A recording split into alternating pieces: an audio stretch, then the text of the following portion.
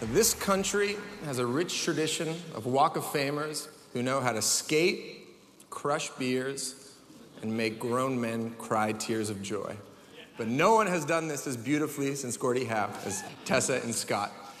Canada's love affair with Tessa and Scott is the real deal. For over 20 plus years of their career performing together, we have watched breathlessly every lift, spin, and twizzle, which is the, the official terminology, I think.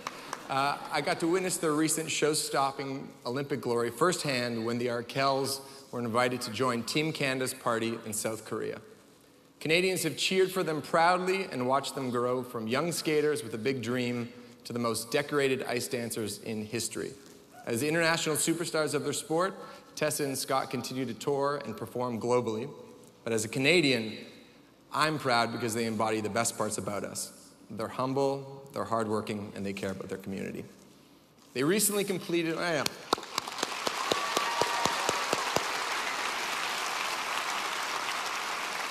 They recently completed their Thank You Canada tour where they returned the love they received across the country and inspired a new generation of young skaters to follow their dreams. We can't wait to see what's next for their great adventure and we'll be cheering you on. Our final competitors representing Canada, Tessa Virtue and Scott Moir. Does your mother tell you things?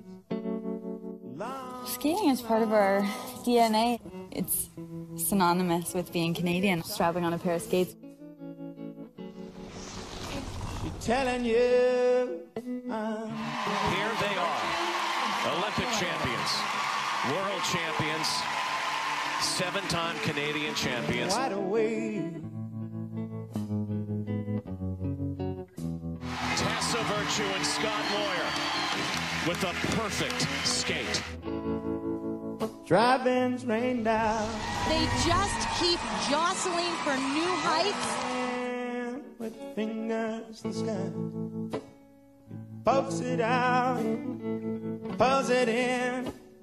Don't. The Canadians are going to be oh so happy with that. Same mistake. It's been a long,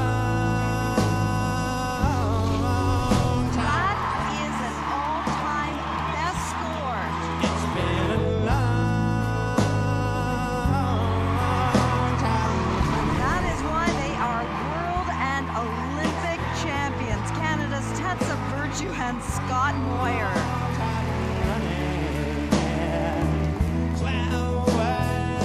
Thank You Canada Tour is a way for us to go into all corners of the country and kind of giving back. Saying thank you to the fans for 20 plus years. They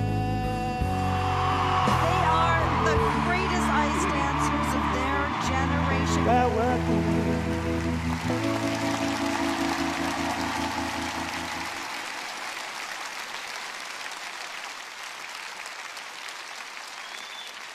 Now the time has come. If anyone has any reasons why these two should not be inducted into the Walk of Fame, speak now or forever. Okay, uh, come on stage.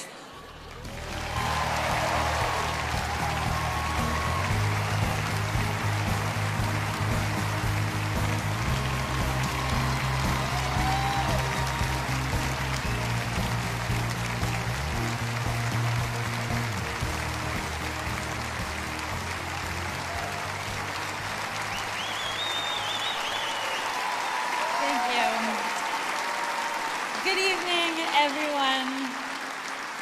It is an absolute pleasure to be here with all of you. As I look around, I see brilliance, which gives me hope. I see a room full of people who paved their own path by questioning convention, defying norms, and pursuing in the face of adversity. That makes it both humbling and inspiring to stand before you. Special congratulations to our fellow inductees. You have left your handprints on the heart of Canada, and we are incredibly grateful for your relentless pursuit of excellence. And we're huge fans. Which It's probably why my heart's beating through my chest. I always thought I was a bit more of a skater than a talker, but here we go. When we got word of this induction, um, it certainly came as a surprise. Though Tessa and I have skated together for over 21 years, we probably have the least amount of perspective on our own career. I can still remember being in our ending position at the Olympic Games, Pyeongchang. Can remember pumping my fists, looking at Tessa, hugging her, probably so hard that she couldn't breathe. Um, but I remember most the sense of pride in what we accomplished, yes, but also pride in the way that Canadians rallied to support us. The flags, the cheers, the words of encouragement. Can you imagine being halfway across the world and feeling you have 35 million Canadians in the rink with you? We couldn't lose that day.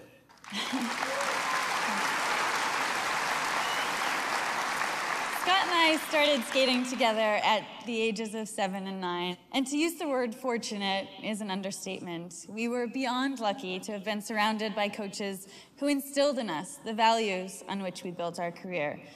To our families who managed to perfectly navigate that delicate balance of investment and encouragement, thank you for your sacrifices, your commitment, understanding, patience, and unconditional support.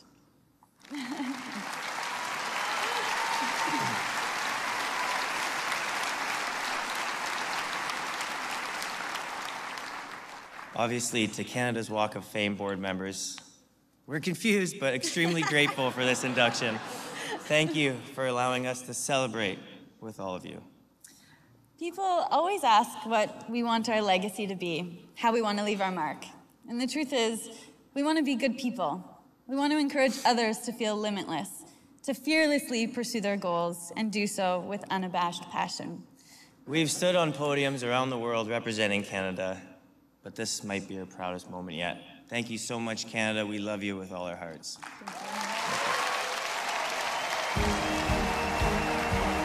Stay tuned. Paul Anka's tribute to Jimmy Pattison and Catherine O'Hara inducts Andrea Martin when we return.